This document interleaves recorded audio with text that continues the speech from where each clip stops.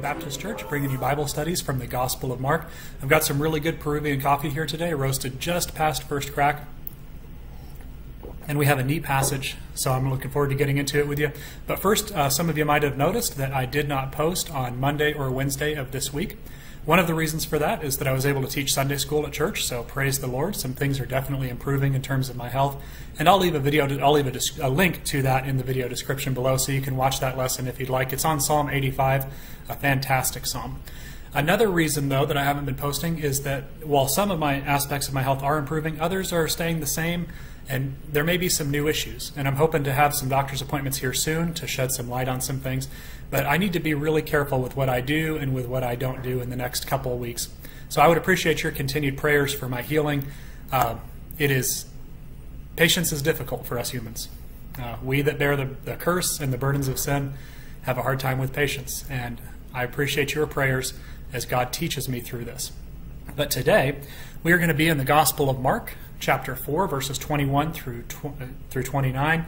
As always, my hope here is to give you something brief and practical, something you can pack up and take with you for the rest of the day. Going to be picking up in verse 21. And he said unto them, Jesus says to those who are listening, his audience, and the people most interested in his teaching probably, is a candle brought to be put under a bushel or under a bed, and not to be set on a candlestick? For there is nothing hid which shall not be manifest, neither was anything kept secret, but that it should come abroad.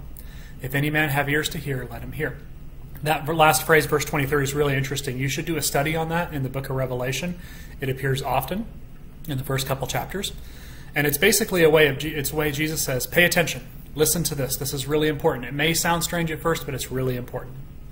So, why is he talking about candles and bushels and things like that? Well, very simply this. There are two ways to understand the parable. They're both related, though. They're not really that different. The first is to understand that the light or the candle is Jesus, and Jesus is saying that he is going to be brought to light, which is true. He is going to come as Savior and also as Judge.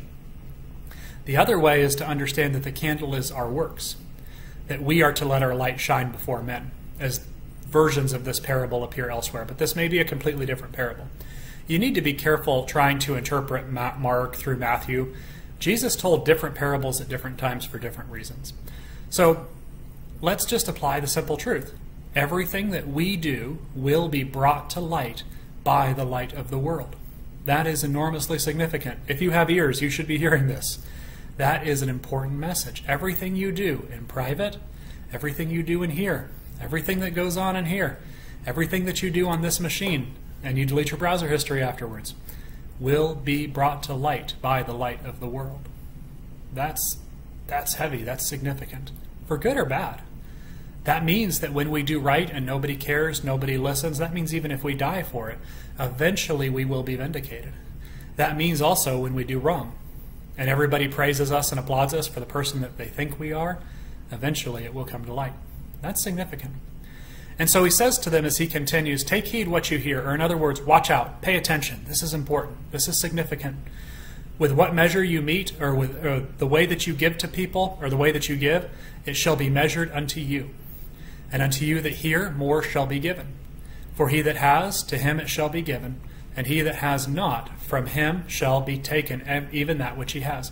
So here Jesus is applying the general biblical law of sowing and reaping. You get what you give, generally, very generally speaking. Uh, he's applying that to the practice of listening to and applying the Word of God. When you listen to and apply the Word of God, when you hear it and take heed to it, then you will get more truth. When you fail to do that, then even the truth that you understand will begin to slip away from you.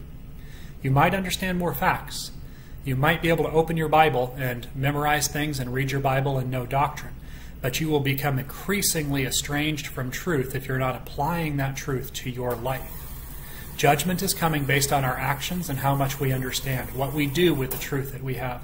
Take heed how you hear. Pay attention to what you hear and apply it. And so Jesus continues with the parables, and he says in verse 26 So is the kingdom of God. The kingdom of God is like this. If a man should cast seed to the ground, and should sleep and rise night and day, the seed should spring up and grow. He knows not how.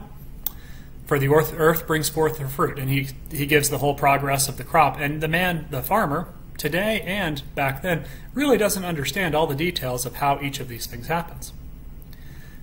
But when the crop is fully grown, in verse 29, he puts in the sickle because the harvest has come. Now, when we think of Jesus' parables, harvests and sickles should make us think of judgment. There might be an element of judgment here in this parable, as there certainly is in what he says in verses 24 and 25. But what's the big point of this parable? The big point of this parable is at the end of verse 27 the man knows not how.